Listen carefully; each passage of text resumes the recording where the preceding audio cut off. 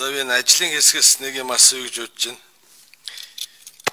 Эрүүл мэнд хамгаалж эдэн засгаас сэргэх 10 их найдын цогц төлөвлөгөөний хүрээнд арилжааны 7 банкар дамжуулан одоо газар тариалан үйлдвэрлэгчд 72 тэрбум за күнсний нөгөө аж тариалж төмс хүнсний нөгөө тариалах аж ахуйн 28 тэрбум нийтдээ 100 тэрбум төгрөг гийг 3 хүүгийн хөөтэй 2 жилийн хугацаа төгссөн. Энийг хэрэгжилт нь ямар вэ? Эзэнд нь хүрсэн үү? За хоёр дахь асуудлын газар тариалан үйлдвэрлэлийн нэмэгдүүлэх чиглэлээр хэрэгжүүлэх арга хэмжээний талаар асууя.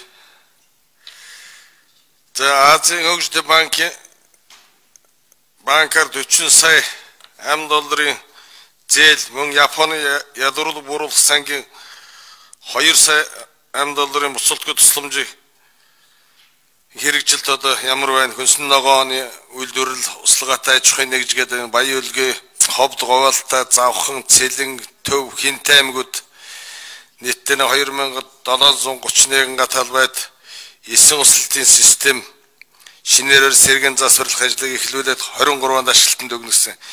Эний хэрэгжилт нь хэр байна? Энэ талаар асууя.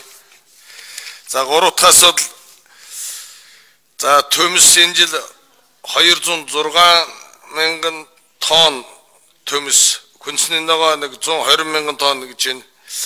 Энэ дотоодын хэрэгцээний хэдэн хувийн анх уу? Импортер хэдэн хувийн авах уу? Энийг ярьж байгаа маань одоо ерөнхийлөгчийн хэрэгжүүлж байгаа сая юуны хүрээнд бас дотооддоо ханх боломж байсан. Сая Абакр гişүн бас ярьж байна.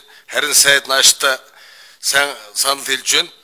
Жинхэнэ эзэд нь хөрөг байна хуучаад Баянур сум гэхэд цанг аж ахуй байсан төмс их хэмжээгээр тариалаад аймгийн ардэр гэдэг төмс байцаа луун цонгон хүнсний бусд ногоогоор хангаад а Көрш Косогаш мужид бас ингээд экспортлдог байсан.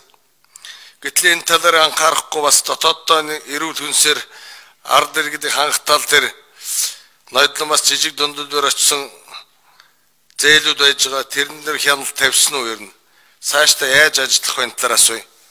Ялангуяа гол дагсан сумууд дээр сая нөгөө хөдөлгөөний сайдын ярьж байгаагаар одоо 10-аас 50 сая төгрөгийн аж ахуйн хэлбэрээ байгуулад тэгээд ихээр одоо хүнсний ногоо төмс хүнсний ногоо тариалбал дотооддоо хангах боломж байгаа хгүй эрүүл хүнсний ногоор.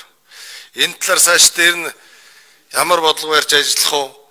Ядахтай аймаг сумуудаар ярьж хагаад э, хоршоо байгуулж хагаад барьцаалах хөрөнгөтэй болгож байгаа тэгж олгодог юм уу тэгэхгүй болохгүй бах.